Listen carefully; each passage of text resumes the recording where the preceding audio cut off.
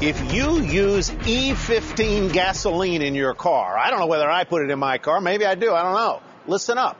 The AAA warning regulators to stop sales of the fuel because it could damage your vehicle. And that's not all.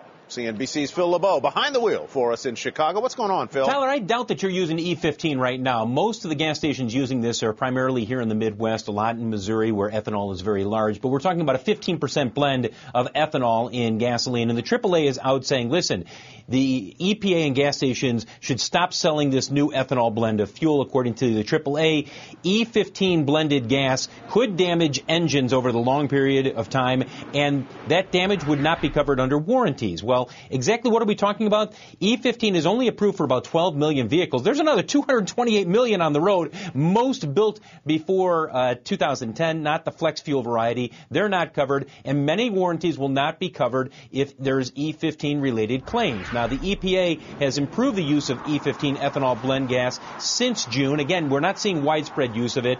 By the way, EPA and the Renewable Fuels Association, they say that, listen, over the long period of time, E15 is safe for vehicles. You take a look at the price of gasoline as it has come down over the last couple of months. The bottom line is this, guys. We heard a lot of complaints about E10 ethanol blended gasoline a while ago, and those claims, you know, a lot of people are saying they didn't weren't borne out. Now we're hearing the same complaints and concerns about E15.